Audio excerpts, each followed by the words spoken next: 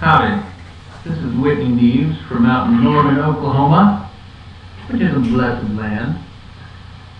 Today, I'm reviewing a case from the lower extremity module with a particular focus on tendinopathy.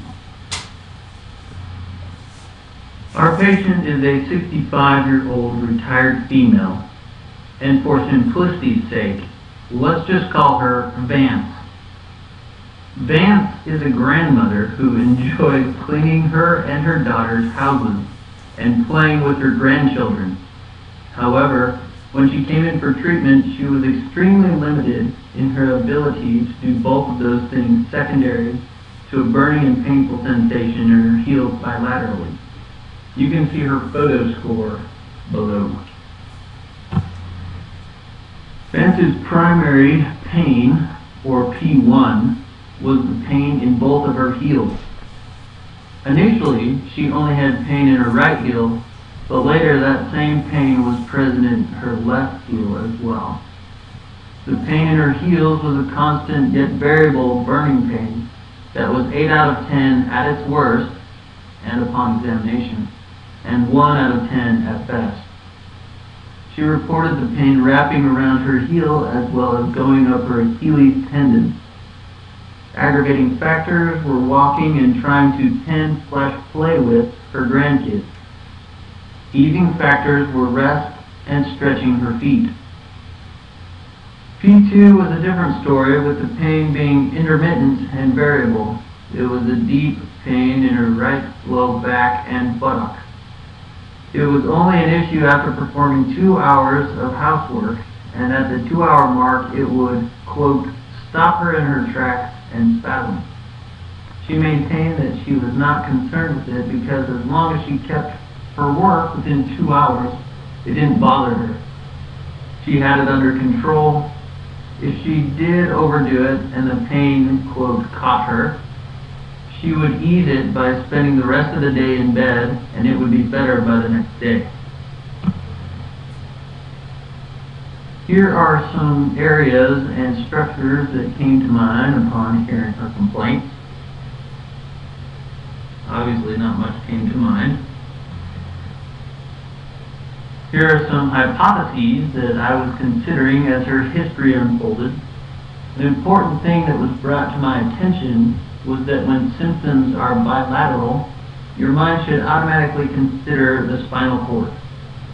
The reason both tendonitis and tendinosis are listed is because after only reviewing the chart, we didn't know how long the symptoms had been bothering her.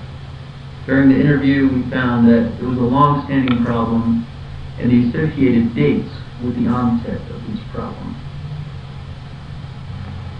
P1 aggravating factors were being on her feet all day, with easing factors being rest and stretching. P1 onset was immediately and gradually relieved as she rested and stretched. It never completely went away though. P2 aggravating factors were doing housework and other standing ADLs for more than two hours.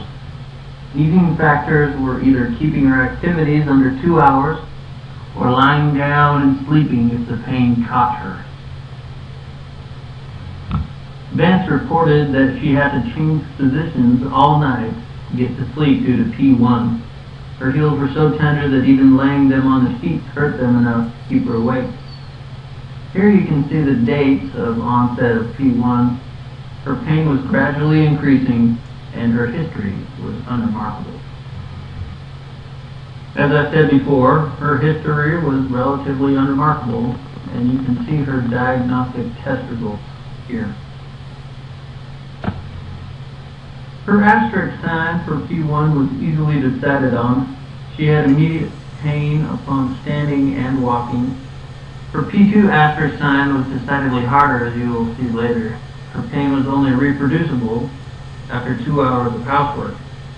As I will mention later, she wasn't interested in having her back, or her P2, treated at that time. Tendonitis was ruled out due to the length of time from onset to present. Here we have the rest of my hypotheses. Her condition was moderately severe with a moderate to severe irritability. Her symptoms would start to settle down immediately upon sitting or lying down.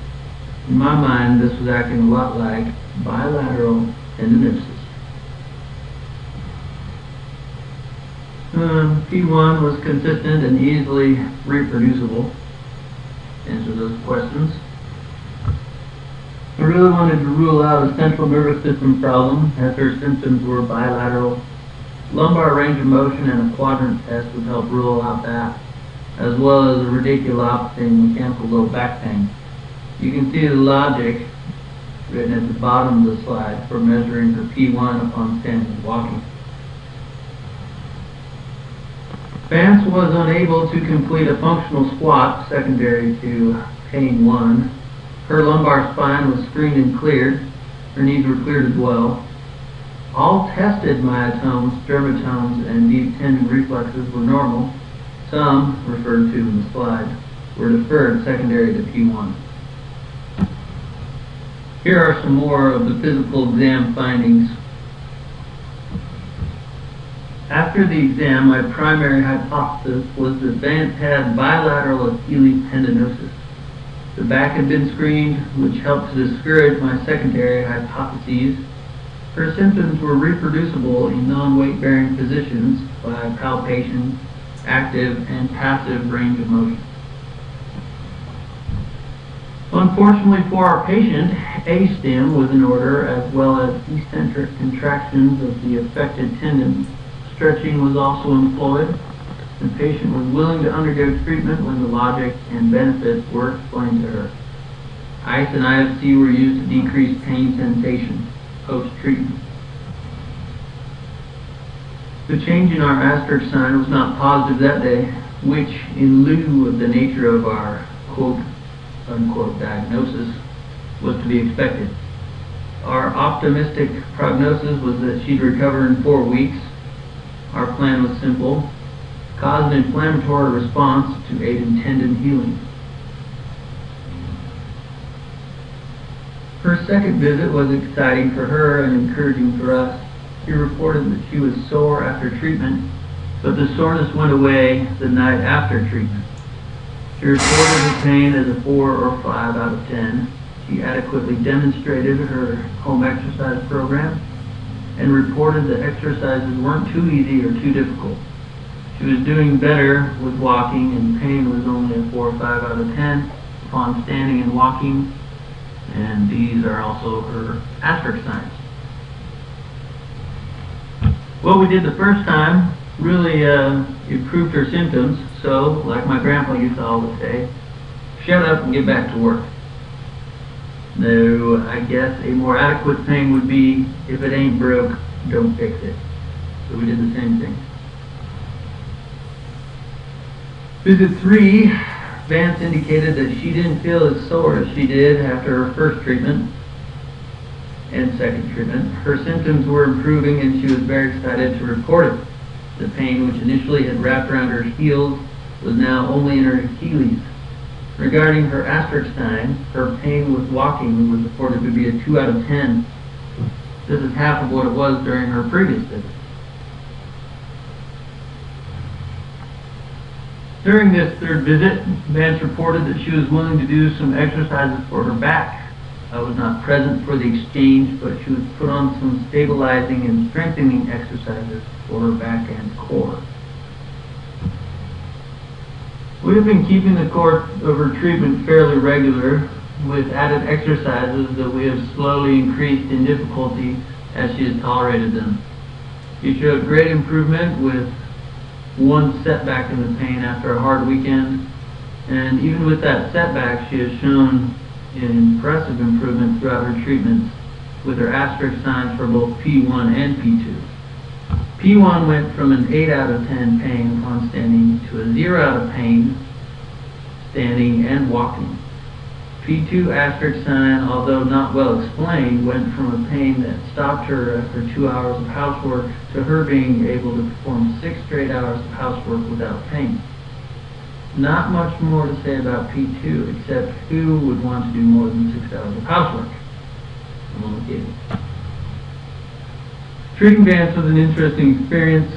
Uh, I was involved with treating P1, and the logic behind the treatments. I was a little out of the loop with the treatment for P2. The treatment was effective at changing her asterisk signs, but I didn't really know why or what we were trying to address exactly. Are there any questions that anyone has about Vance? And when I ask this question, it's rhetorical, so don't answer it. Don't ask me a question.